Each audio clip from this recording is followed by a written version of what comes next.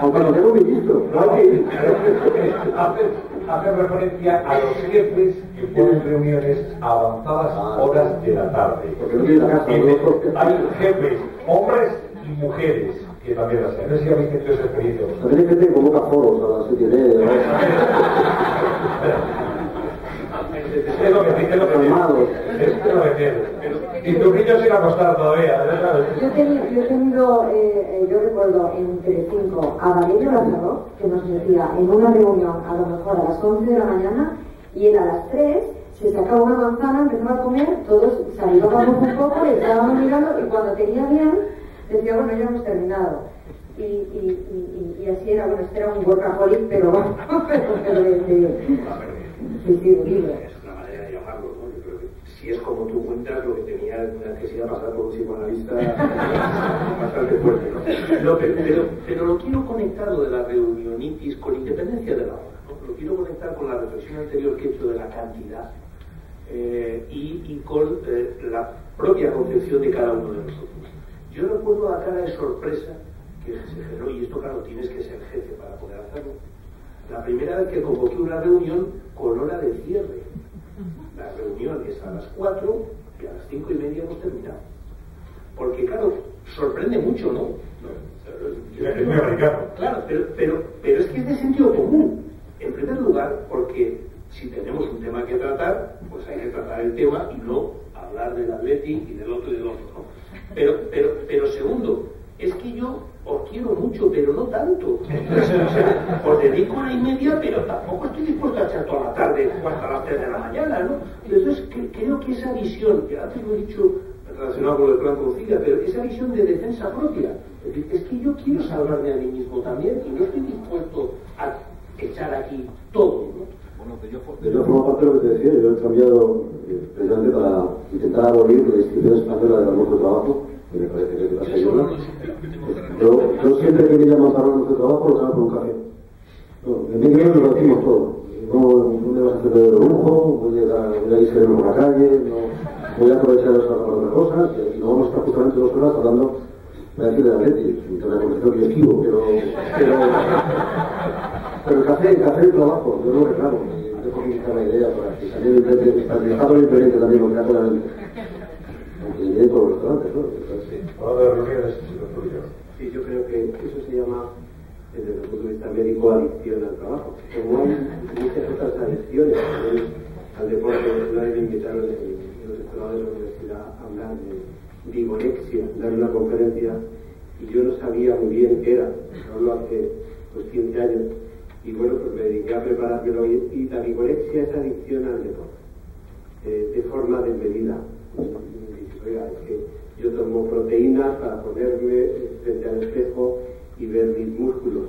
Pues eso ocurre hoy día. Y por eso quizá eh, cuando hemos hablado de salud eh, y de patología, pues esto es una patología que existe, el estrés, la ansiedad, la adicción al trabajo.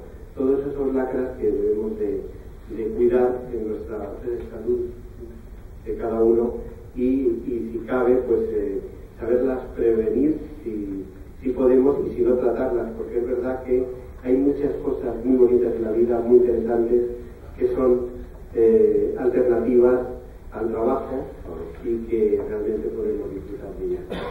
Bien, hay otra pregunta que hace referencia a la evolución de las fórmulas de trabajo en la actualidad, como, son lo- el teletrabajo. Que esto permite conciliar, no hace falta estar físicamente en el puesto de trabajo, sino puedes trabajar desde casa y en muchos eh, aspectos pues requiere exactamente igual o más, ¿no? Y eso se implementa poco, se implementa poco todavía en España.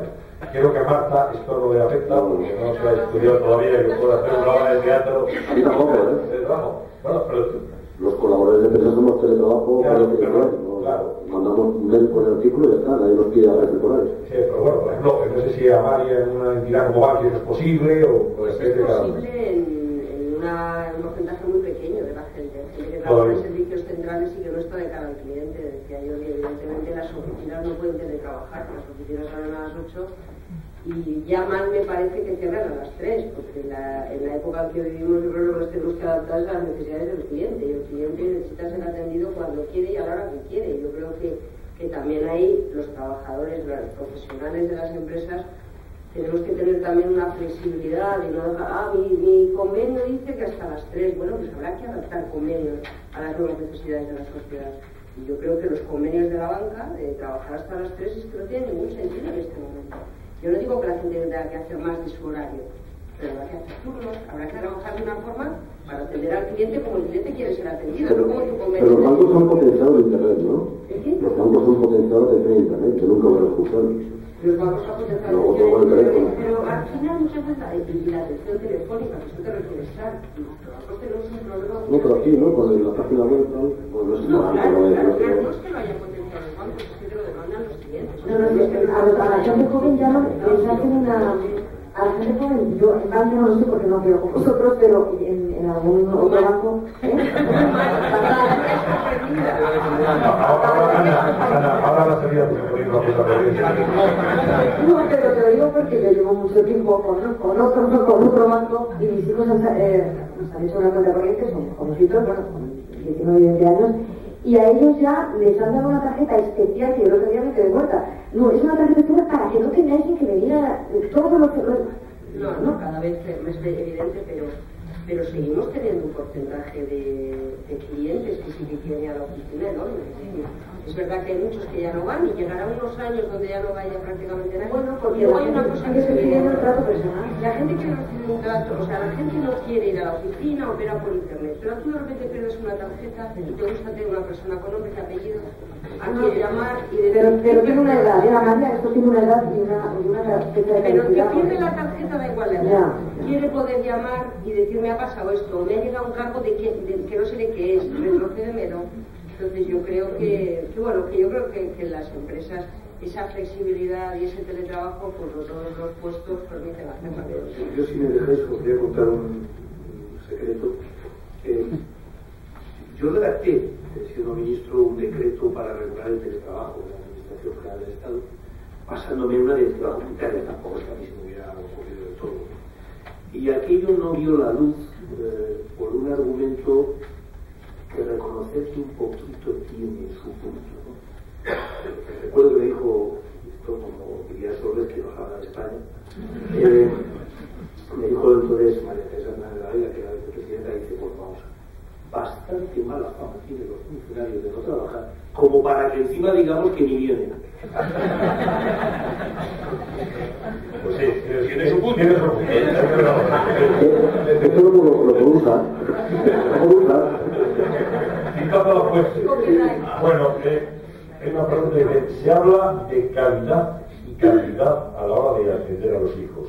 Mariola, con su experiencia de 12 hijos, ¿cómo concilia con un trabajo de jornada completa? ¿Es posible conciliar? Bueno, es posible conciliar, claro que sí. Si uno quiere, puede, ¿no? Y además tienes la ayuda de los padres, de, la familia, de los abuelos, que son tan importantes hoy día, ¿no?